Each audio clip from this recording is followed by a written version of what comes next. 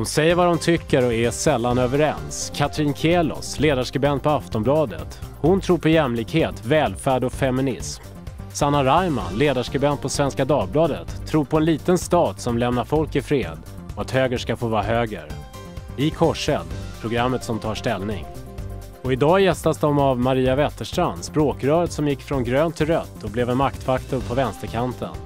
Men nu menar många att det rödgröna samarbetet inte kommer att överleva hösten. När kommer ni göra slut inom de rödgröna då?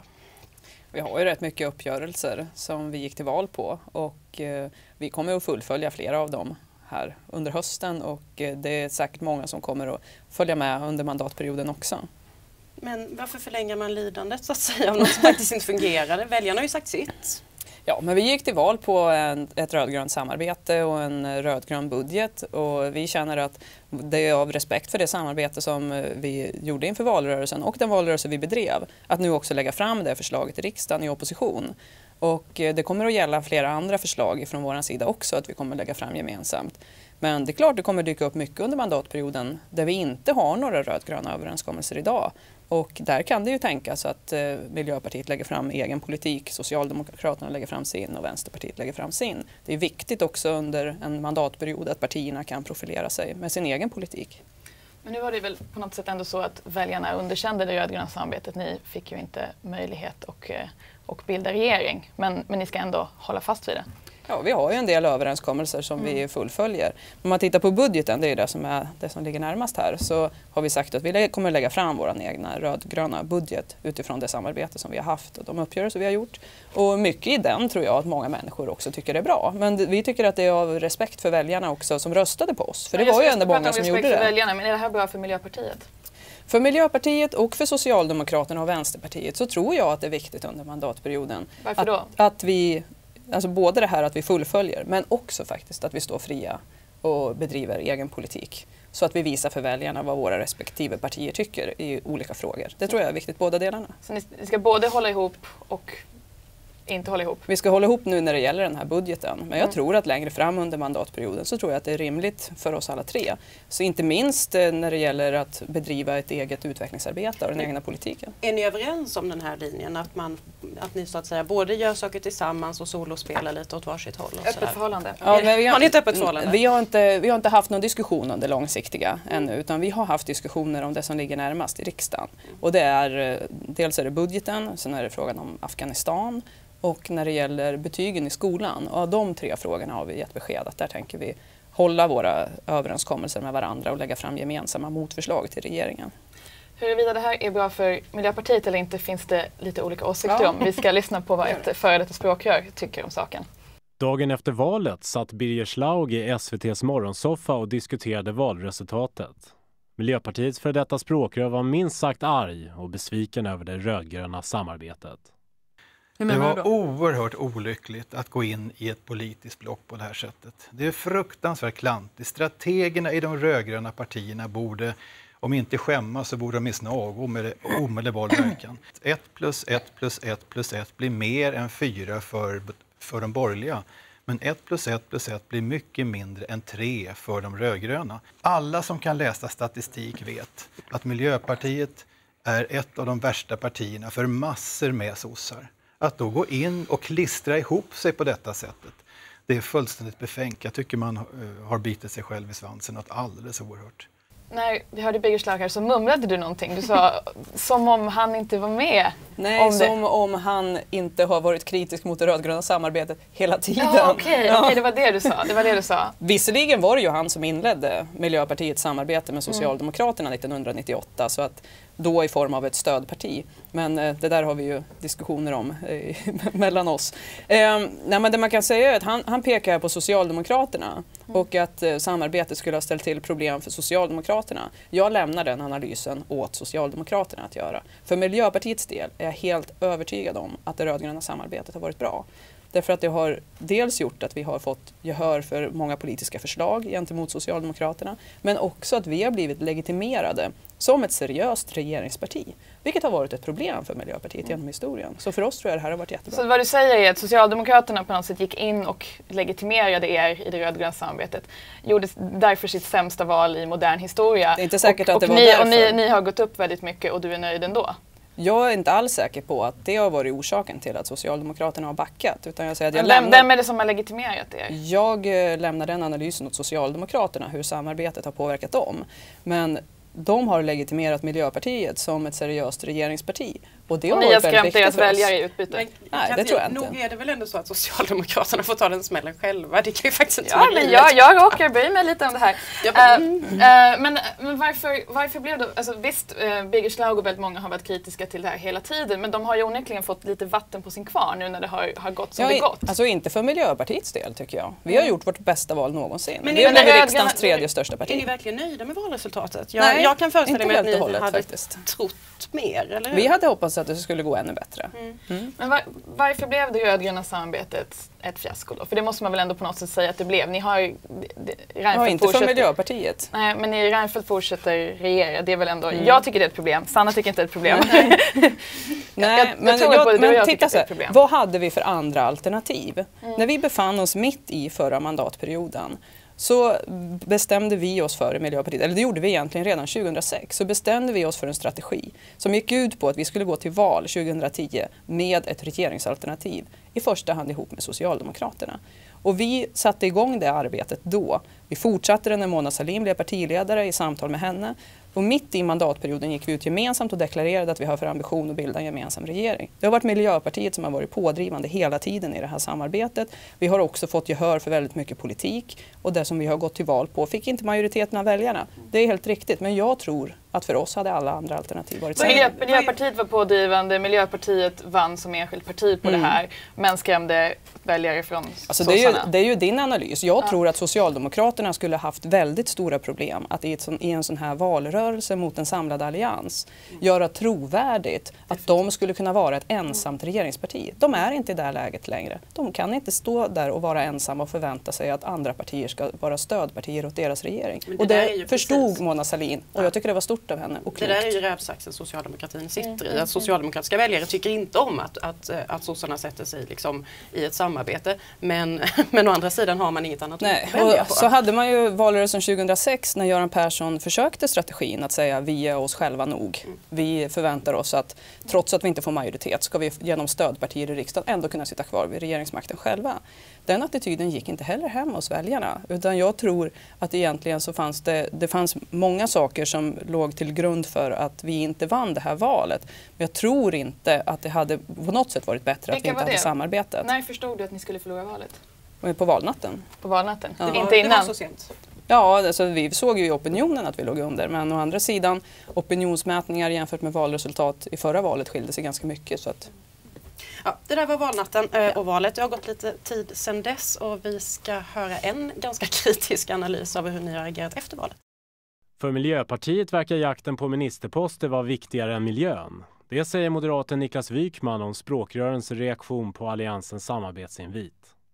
När eh, det kom en invit från Alliansen och Fredrik Reinfeldt att diskutera Sveriges framtid och ta ansvar för Sverige, då var ju inte Maria Wetterstrands och Peter Erikssons reaktion att vi skulle prata miljöpolitik och miljöåtgärder, utan då skulle vi med en gång prata vice statsministerposter och ministerposter. Då var ju makten mer intressant än miljön helt plötsligt.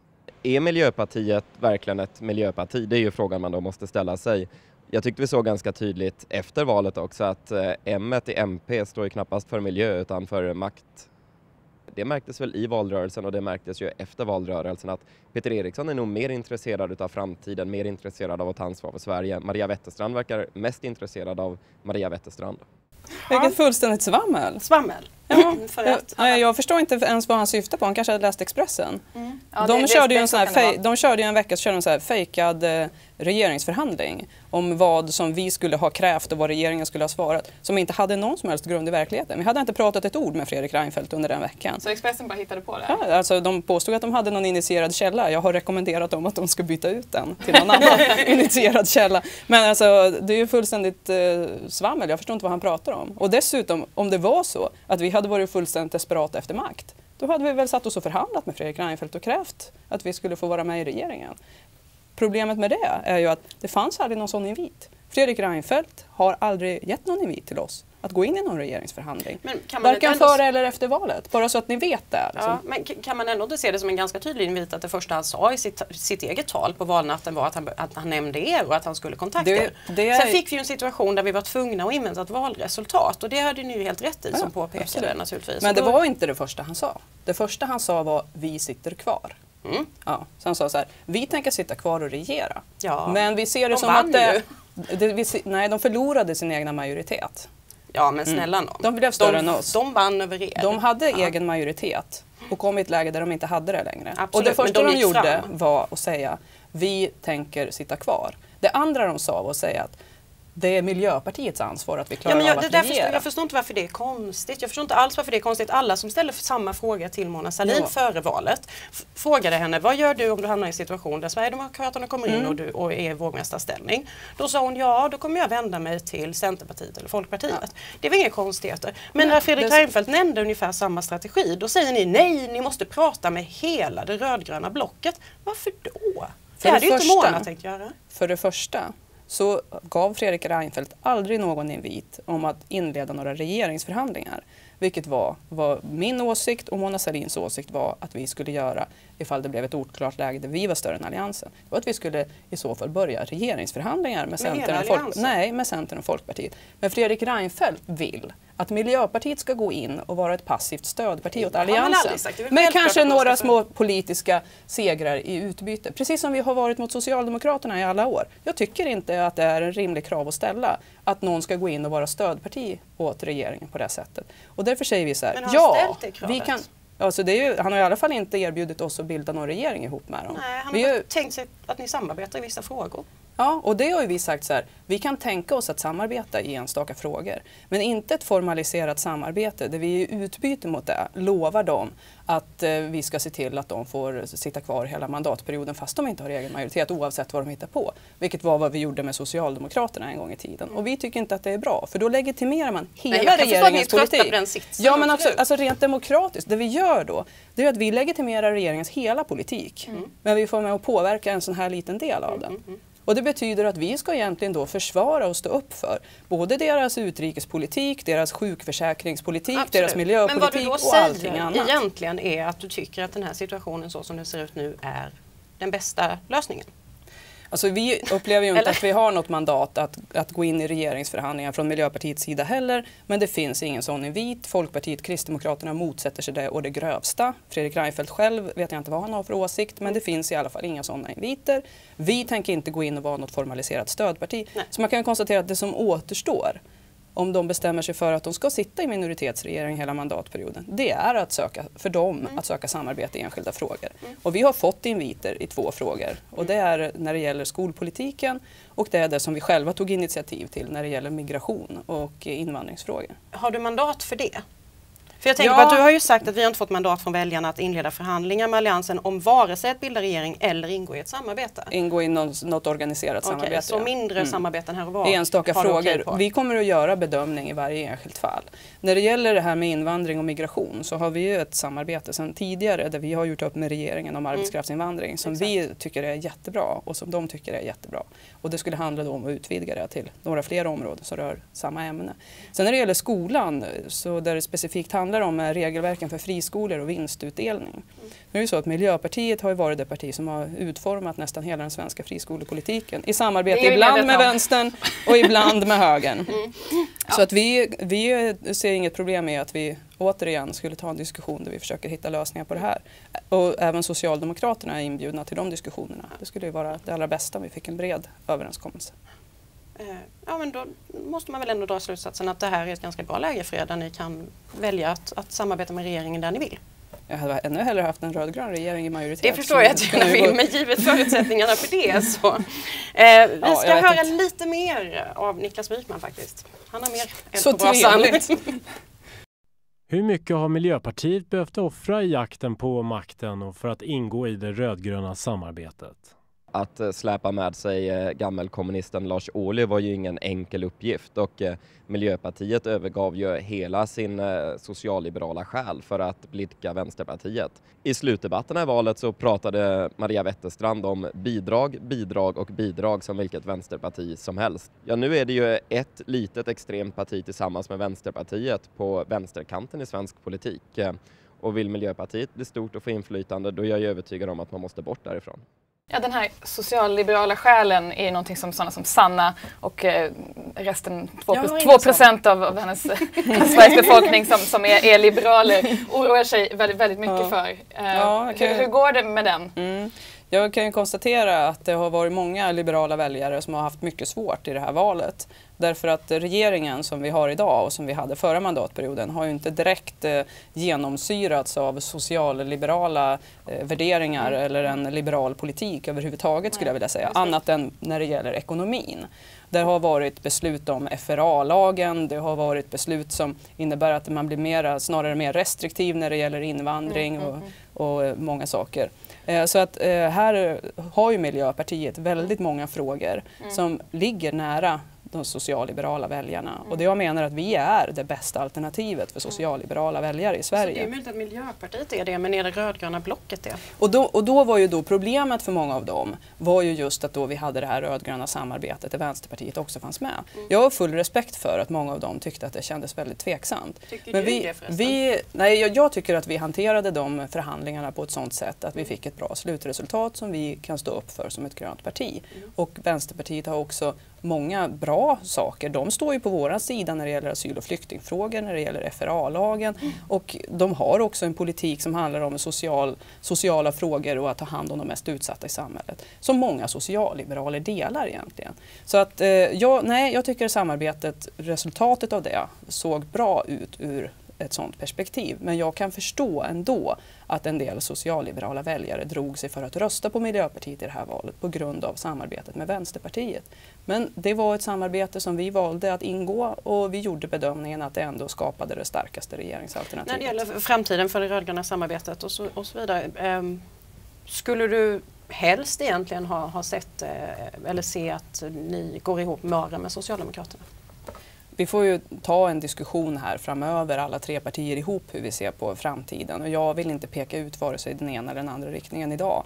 Jag tycker ju som, eh, som en del andra gröna väljare att, att det här med blockpolitik det är eh, en nackdel för, för alla partier som inte är Socialdemokraterna och Moderaterna egentligen, tror jag, i längden. Fast egentligen inte, det sägs ju också att det missgynnar, eller, all, det missgynnar socialdemokratiska partier med väldigt stark, stark blockpolitik. För att eh, om det är två tydliga block så tenderar medelklassen att gå, att gå åt höger. Medan mm. om det är liksom en socialdemokrat som har mer en mittenposition som är fri mm. så, eh, så är det många väljare, så går medelklassväljarna mm till Socialdemokraterna istället. Och då tror jag just därför också det är väldigt bra för Socialdemokraterna att ha samarbete med gröna partier. Mm. Det har man sett i andra länder att det har gjort att man har... Alltså, ja, ni har att ätit har, upp väldigt många, för stora delar av Socialdemokraternas väljarbas. Okej, men tillsammans, tillsammans har det blivit ett starkare alternativ än vad Socialdemokraterna skulle vara ensamma.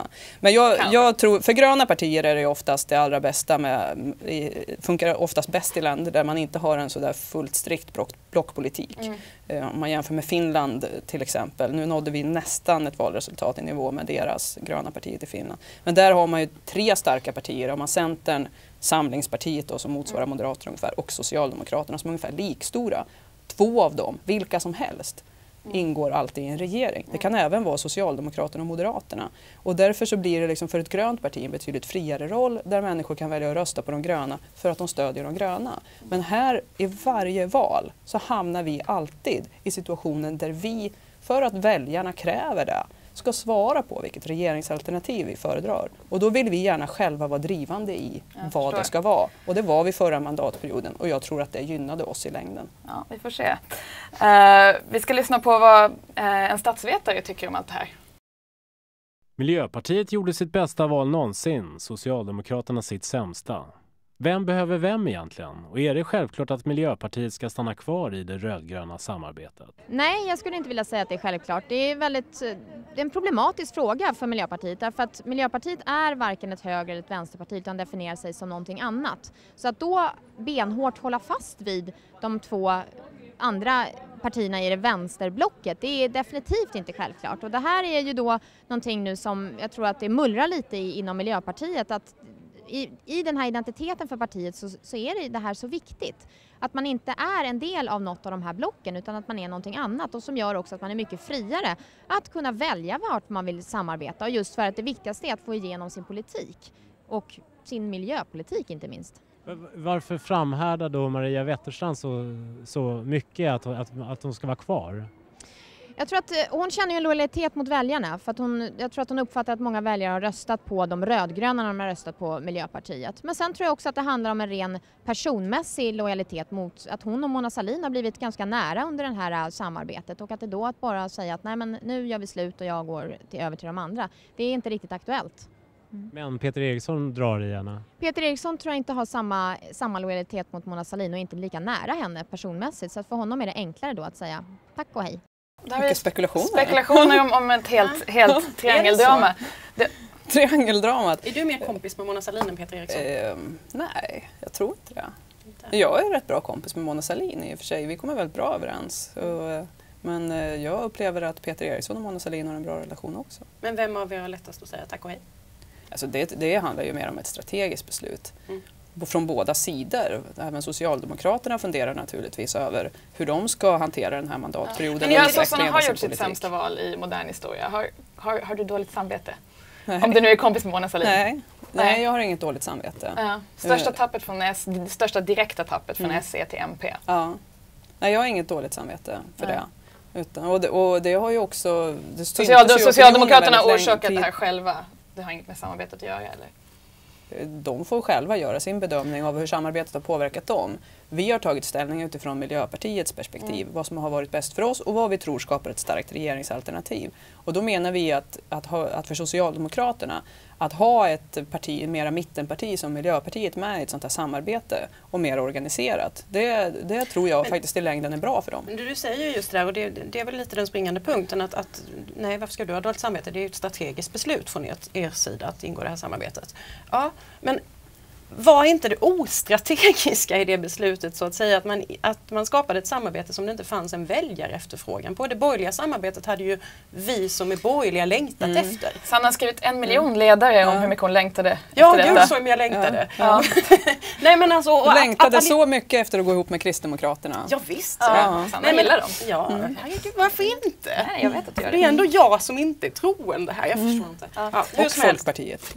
Nej, men mm. Alliansen, det fanns ju efterfrågan på Alliansen. Det har inte mm. funnits en väljarefterfrågan på ett S, V och MP-samarbete. Ja, från, från, miljöpartister så skulle jag säga att det finns alltid en efterfrågan på att Miljöpartiet är tydlig i vilket regeringsalternativ som vi mm. går fram med. Mm. Och att vi också ska göra vårt bästa för att få en möjlighet att påverka svensk politik. Och vi har upplevt, vi har ju drivit det här, Peter Eriksson och jag, sedan vi tillträdde 2002, att Miljöpartiet ska bli ett regeringsparti även i Sverige, precis som de gröna är i andra länder. Och eh, det finns ett väldigt starkt stöd för Man bland våra medlemmar och väljare. Man har lite grann rätt att M1 i MP står lite grann för makt också? Självklart måste vi ha makt för att kunna påverka miljöpolitiken och för att kunna påverka andra politiska områden när det gäller asyl och flyktingfrågor. Men hur blev det med miljöpolitiken i valrörelsen? För miljöpolitiken var ju inte någon stor fråga i valrörelsen. Nej, det var det inte. Eh, Miljöpartiet var en stor fråga i valrörelsen. Maria Wetterstrand var en stor fråga i valrörelsen men inte miljöfrågan. Mm.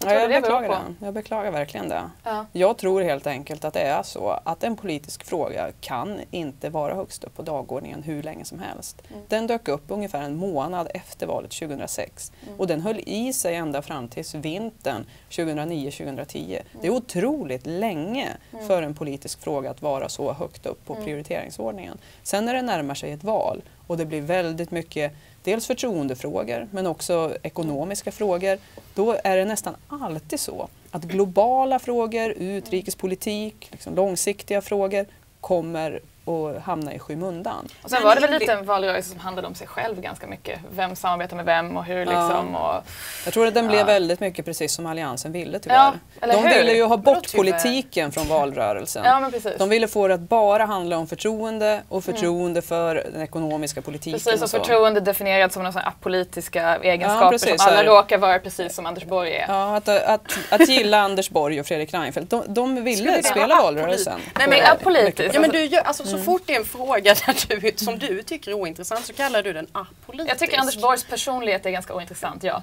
Jag tycker hans politik är intressant för vad den får för konsekvenser på klyftorna i samhället. Men, men att diskutera, Nej, men det, det diskutera så, som, så, som ni gör på massa borgerliga ledarsidor som att det är liksom ansvar som om det var ja, men, ja, men ett antal, är viktigt, ja, men ett antal personliga egenskaper och inte mm. politik. Jag vill fråga dig en sak. Uh, när ni uh, ingick samarbetet med bara Socialdemokraterna inledningsvis, mm. uh, då var överenskommelsen att ni skulle hålla ihop till 2020.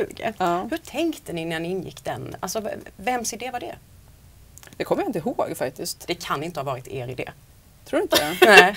Sanna, ja, men det, det var, var alltså, tanken var ju... Nej, men varför skulle ni binda upp er i 12 år? Varför skulle vi binda upp Socialdemokraterna mm. på det sättet? Mm. Eh, det finns en stor poäng att binda upp Socialdemokraterna även för oss precis på samma sätt de har resonerat att det är bra att binda upp Miljöpartiet. Jag tror nog att det finns ett ömsesidigt behov av varandra mer, här. Mer, det är ju mer tänkbart att ni samarbetar över blockgränsen än, än det, det att Socialdemokraterna gör det. Sossarna har gjort det. Nu är det, ju, ja, nu är det väl i och för sig så att, att, när det har varit socialdemokratiska minoritetsregeringar mm. så har väl det parti de har fått stöd av flest gånger varit Moderaterna när de har drivit igenom sin politik. Så att, politik ja. jo, vilket vi brukar kritisera ur ett grönt perspektiv, att det finns någon slags gråpakt däremellan. Mm. Men eh, den har ju vi förgrönat nu genom då att ingå ett samarbete med Socialdemokraterna. Men du kommer inte ihåg vems idé det var? Nej, jag kommer inte ihåg vems idé det var. Jag är inte säker på att jag skulle säga det om jag kommer ihåg det heller. Nej, jag kan tänka mig det. Mm. Du, du, var väldigt arg på valnatten.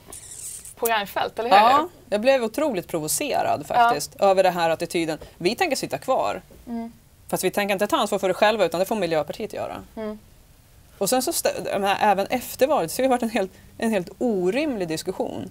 Där de i princip säger till oss här, ni ska låta bli att driva oppositionspolitik för att vi ska få styra trots ja. att vi inte är i majoritet. Det är oppositionens ansvar att vi får igenom vår politik. Ja, precis. Men det har ingen sagt. Det har det har, sagt. Ja, alltså det är ju den attityd som har varit hela tiden. Att man försöker lägga över ansvaret på oppositionen. Man har ju till och med förts fram förslag om att vi skulle plocka bort ett par ledamöter i varje omröstning i riksdagen för att låtsas som att regeringen har fått egen majoritet. Har du fast fått de det förslaget inte har. Nej, men det har ju förekommit, ja, det förekommit från borgerliga politiker.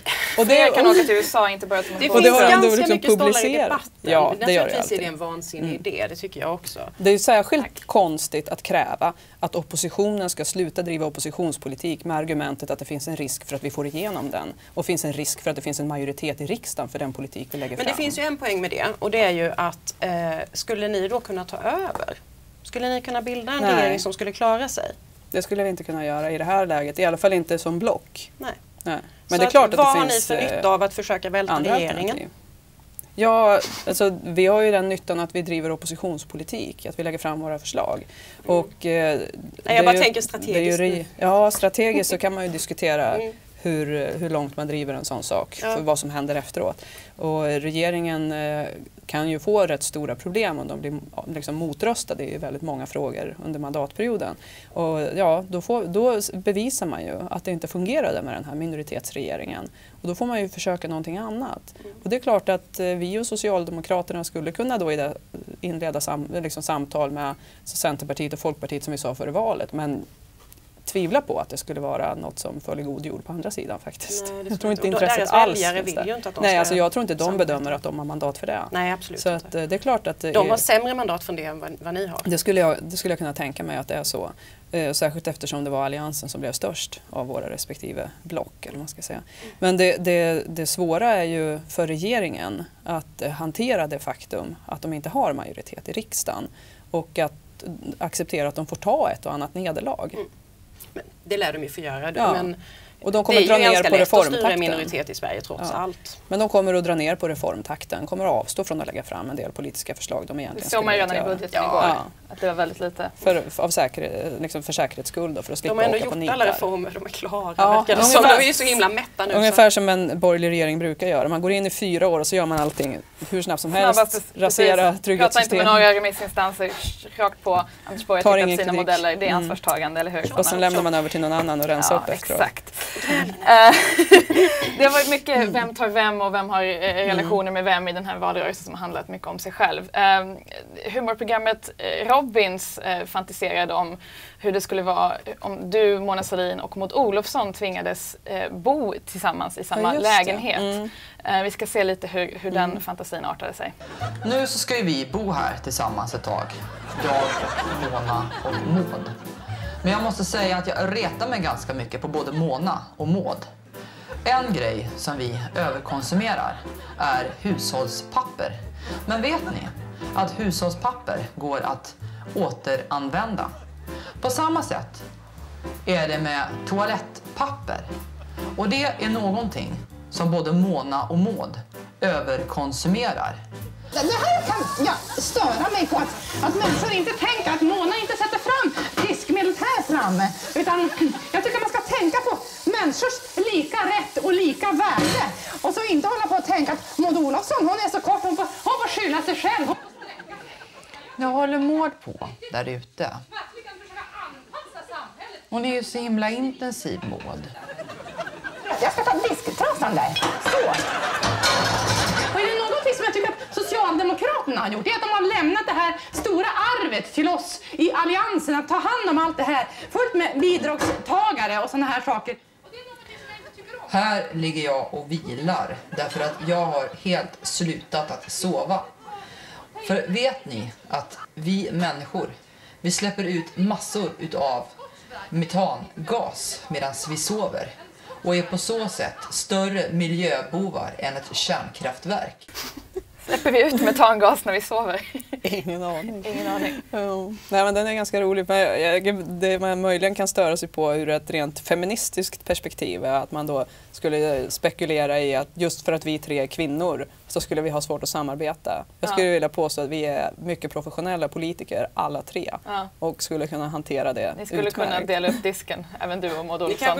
Disken är väl alltid problem tycker ja, jag. I och för sig, jag har bott i, i ett visserligen litet men ändå kollektiv med två vänner när jag pluggade och det var väl inte disken som fungerade bäst. Nej. I alla fall inte när jag var ansvarig för. Det brukar inte vara det. Mm.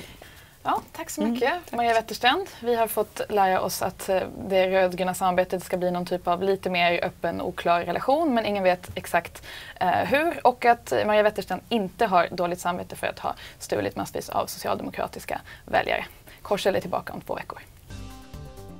Jo men det var väl ett alldeles utmärkt premiäravsnitt och en bra premiärgäst. Eh, Maria Wetterstrand verkade ju eh, ganska cool. Det kändes som att den värsta ilskan från valnatten har runnit av henne i alla fall. Hon är väldigt strategisk, väldigt maktpolitisk. De har vunnit och Socialdemokraterna har förlorat på det här och det är ingenting de ångrar. Det handlar om strategi för Miljöpartiet.